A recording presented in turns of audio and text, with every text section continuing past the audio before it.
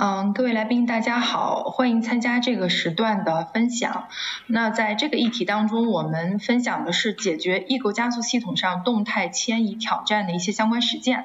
那很抱歉，由于行程的原因，只能通过线上的方式来分享这个议题。如果后续对于分享的内容有相关的疑问或者是讨论，也欢迎通过邮箱啊或者是开源社区的方式来联系到我们。那在今天的议题当中，我们主要想介绍以下几个方面的内容。首先呢，是通过分析 AI 应用跨架构迁移的挑战，以及业界已经出现的一些方案，介绍相关的背景。那第二部分呢，会介绍中国移动在做 AI 应用跨架构迁移方面的一些探索，啊，包括算力原生技术的一些主要内涵以及相关的 demo。那第三部分呢，会介绍中国移动正在构建的科学计算装置的一些情况。那我们看到，随着 AI 应用的蓬勃发展，嗯，那支撑 AI 应用推理和训练的这个基础设施的发展也变得越来越重要。那除了传统的 CPU 的这个基础设施之外，我们也看到了像 GPU、TPU、NPU 这样不同形态的一个加速卡的算力。那无论是在欧美市场还是中国市场，加速卡算力的这个多样性发展已经成为必然，尤其在中国市场，随着国内算力基础设施的建设提速，以及国家对于呃各种政策的支持，我们已经看到有多个厂商来推出了适用于数据中心的 GPU 的产品，像华为的九幺零 B、寒武纪、穗源、海光等等，也推出一系列的 GPU 的这个芯片。那对于应用开发者来说，如果要把应用部署在这样不同架构、不同呃硬件的这个基础设施上，会遇到什么样的问题呢？首先，各个厂商为了最大化的发挥硬件的这个计算能力，往往会提供相关的工具链的支持，比如说像英伟达的 CUDA，像华为的 Can，以及 Intel 的 OneAPI。那这些工具链往往具有不同的编程模型和编程语言。那同时呢，为了啊能够兼容啊呃上层的框架，像 TensorFlow 和 PyTorch，那厂厂商呢往往也会提供不同的框架的这个分支版本。所以对于一个应用开发者来说，所要面对的是 AI 框架加工具链加硬件的这样的一个端到端的长的长链条的这样的一个整体的一个工具站，而且这样的工具站呢，往往是无法兼容啊应用是无法呃无缝迁移的。所以这就带来了应用开发的一个开发成本比较高的一个问题，嗯，所以在开发维护上面，用户需要学习不同的开发语言以及不同的编程模型的 API。那同时呢，如果面对嗯，异构的算力资源池，由于这种开发部署和迁移的困难性，我们也无法呃最大化的去利用这个资源的一个使用率，同时也无法去更好的去规划这样的一个呃资源使用的一个情况。那从硬件厂商的视角来说，往往硬件厂商的软件能力是在不断的应用开发的过程当中迭代去增强的。那由于各个厂商的这样的一个生态竖井，它是无法兼容的，能力也无法兼容的，所以各个厂商的生态往往成了独立发展的这样的一种情况。那各个厂商的生态工具站也是各自为战，所以容易陷入差而不用，不用更差的这样的一个问题。那基于以上的问题呢，呃，我们也看到业界为了更方便的在不同的硬件架构的芯片、硬件架构的基础设施上面去开发 AI 应用或者是迁移 AI 应用，出现了不同的这个跨架构迁移的路径。那首先从框架层来说，我们可以通过统一框架或者是统一某个领域算法接口的方式来简化应用开发。那这种方式往往是通过来标准化、约束算子或者是功能接口的方式去实现的。通过形成单一领域的这个接口，呃，来提供这个领域的标准化的一个实现的方案。那它的一个问题是在于，这种接口往往具有非常强的一个领域的局限性，所以它通用性比较差。另外一点呢，就是实际上。呃，上层接口定义之后，还是需要依赖厂商来进行工具链的二次开发的，所以往往实施的难度也比较高。但我们也看到了一些的一些探索哈，像呃微软的 Onyx 啊，或阿里的 Oda 就是在这个模型的这个格式或者是模型的呃这个统一接口框架层的统一接口方面去开展了一系列的工作。那第二条实施路径呢，我们看到了在基础软件层，实际可以通过统一不同异构系统的编程模型和呃异构系统的这个映映射机制这样的一个方式上面去做到统一的基础资源层的一个呃这种跨架构迁移的一个路径。那通过形成这样的一个统一编程和统一系统接口呢，应用只需要一次开发就可以实现各个不同硬件资源的这样的一个适配或对接，往往通通用性是比较高的。那在这个路线二当中呢，目前已经出现了像 Intel 的 YAPI 啊，以及呃我们看到 Linux 社区的 UCL 联盟也在做相似的事情。那第三条路径呢，就是通过硬件层本身去实现。那硬件往往是跟厂商自己的这个呃这个呃厂商的能力紧紧绑定的。那不同厂商不同代际的硬件产品，它的架构类型也不一样，呃各个硬件产品的性能也各有侧重。那在这一层呢，如果可以通过约束统一的硬件指令集来形成统一的标准，嗯，那通过这样的一个统一虚拟指令集呢，啊就可以达到一个。很强的一个通用性，但是呢，它的实施难度是比较大的，因为需要厂商来深度跟呃要去做一一个深度的硬件架构的一个更新或更改，所以其实它的驱动力是比较难的。那呃通过呃观察业界对于 AI 应用跨架构迁移的一些探索，中国移动也在思索自己的一个呃实施方案。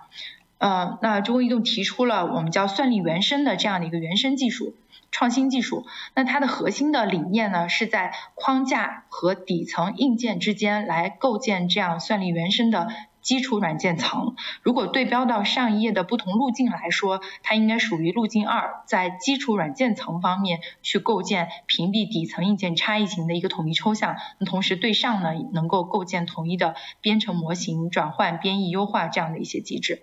那通过算力原生的技术呢，能够实现首先是编译和链接的解耦啊。那算力原生提供了一个编译工具，能够让上层应用编译生成一个中间性的原语文件。那在部署实施当中呢，通过动态的一个运行时的适配来调度所需的硬件来进行动态链接。那为了实现算力原生这样的一些构想，实际上是有很多不同的关键技术支持的。那首先第一个关键技术是统一编程模型技术。那我们看到在现有的实现方案里面，比如说像英伟达的 CUDA，呃，实际上是 CUDA。呃，约束了统一编程模型的一些算子元语啊，以及统一编程模型的语言。那 CUDA 是以 C 的这种语言为基础来实现的。那如果要是呃对标到像国产化的寒武纪，那用户需要去适配的是 Bang 的语言。所以其实要面临的是不同编程模型和编程语言。那在算力原生当中，我们通过约束这样统一的编程模型技术，来实现对于混合异构系统的数据内核以及并行机制的一个统一编程语言。的一个范式，那通过 SQL 语言的这种格式来来达到统一编程语言的一个呃效果，使得模型能够通过一次编码来呃实现这样的一个中间元语，来生成这样的一个中间元语型文件。那同时呢，另一方面，对于已经存在的像类库大这样的一些啊这个呃。程序呢，也可以提供源源转换的一些工具，来使得其他编程模型像统一编程模型来进行一个非常方便的一个工具型的一个代码转换。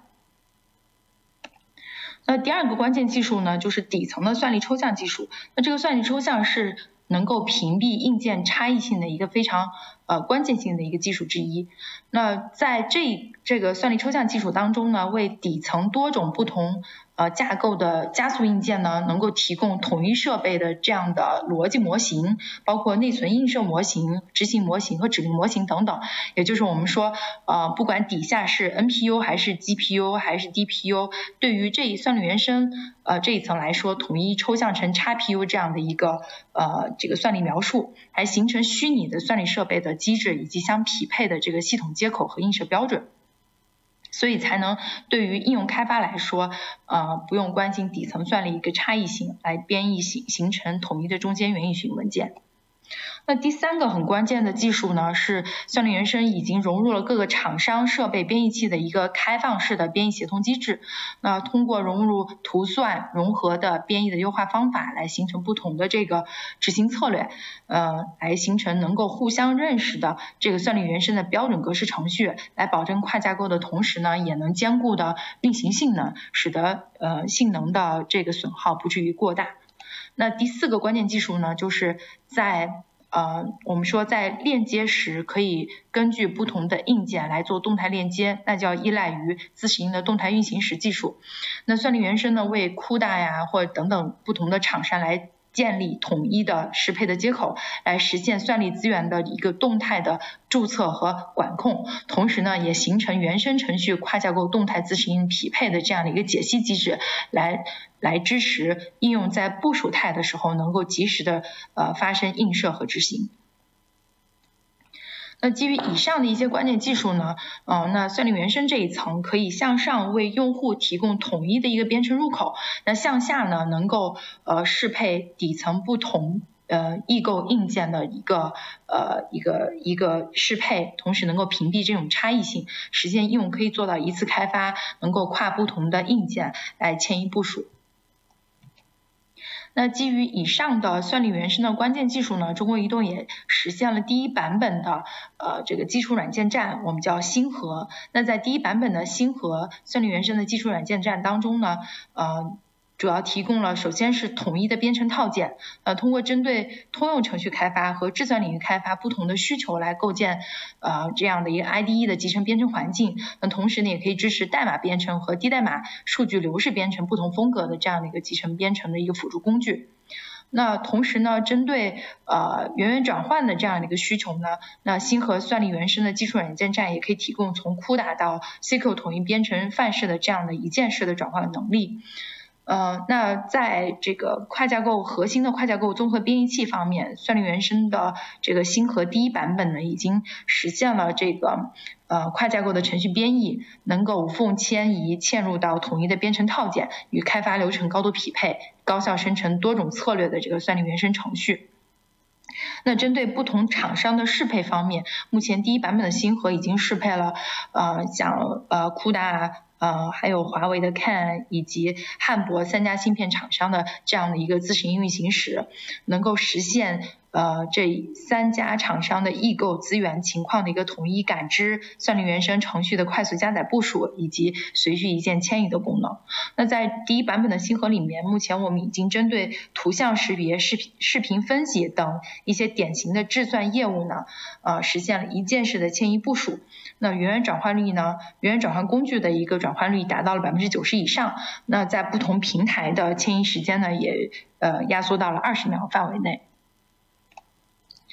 呃，那呃，基于第一版本的这个工作呢，中国移动也在进一步结合实际的业务，对算力原生的一些关键技术啊，包括呃兼容更多厂商的一个呃这个硬件的一个情况啊，去做进一步的一个拓展，呃，来实施更更为全面的一个技术验证。那同时呢，中国移动也希望通过标准和开源的方式，进一步去开放算力原生的一些相关技术。那在呃开源领域呢，我们也希望呃算力原生可以借助开源社区来与厂商共同，厂商以及算力开呃 AI 应用开发者来共同构建这个算力原生的一个基础的开放平台。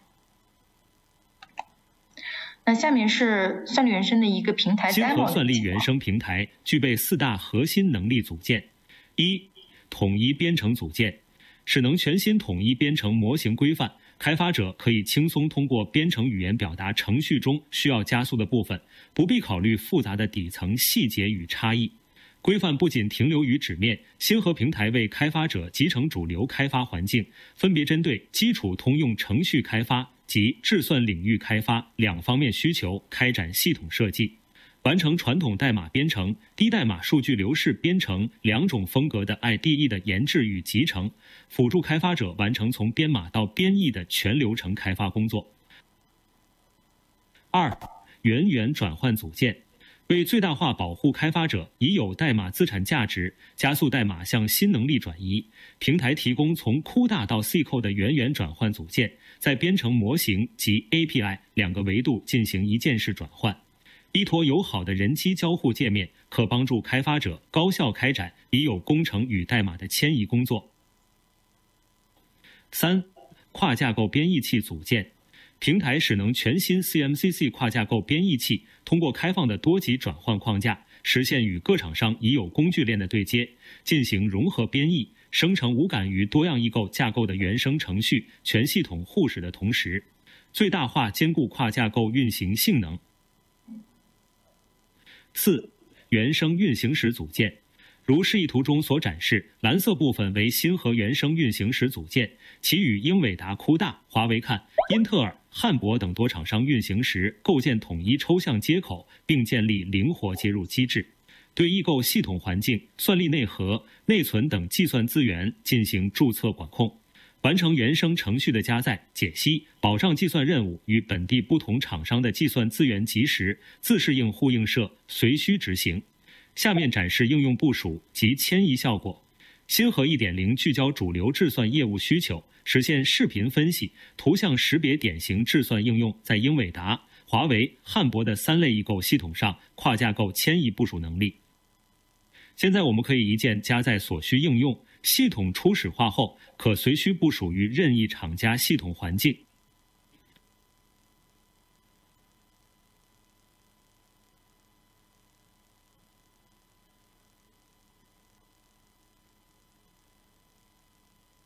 我们可以对应用部署位置、使用资源进行监控，同时可随需对应用进行一键迁移。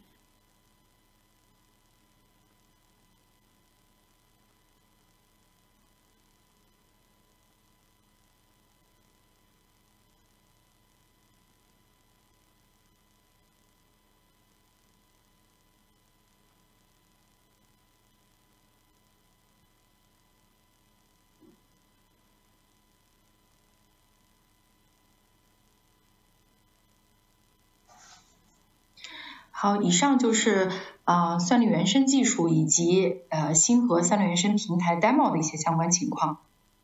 那中国移动在持续构建呃智算基础设施的过程当中，也在进一步构建叫中国移动智算科学装置。那这个科学装置的一个构建目标，主要是开展智算新技术的一个验证、原创技术验证以及公共智算创新平台的合作。那在基于北京国际信息港的这个呃，算力资源池资源池当中，呃，中国移动已经提供了。